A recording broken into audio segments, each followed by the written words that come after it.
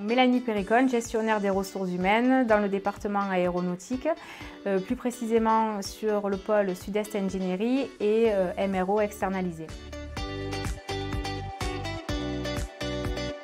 Les objectifs de la PEE sont dans un premier temps de sélectionner et de former les demandeurs d'emploi euh, afin qu'ils intègrent à l'issue de la formation notre entreprise avec un contrat de travail.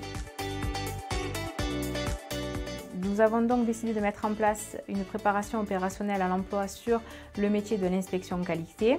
Le métier euh, d'inspecteur qualité est actuellement en tension. Nous, euh, sommes donc rapprochés de euh, l'UMM afin de créer un programme de formation assez spécifique à ce métier.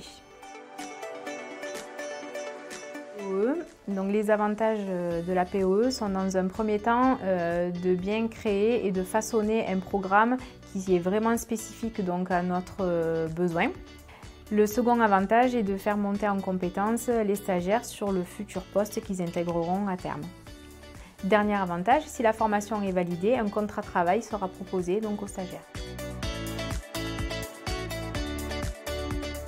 D'autres PE sont prévus en 2023. N'hésitez pas à vous rendre sur notre site Segula afin de postuler.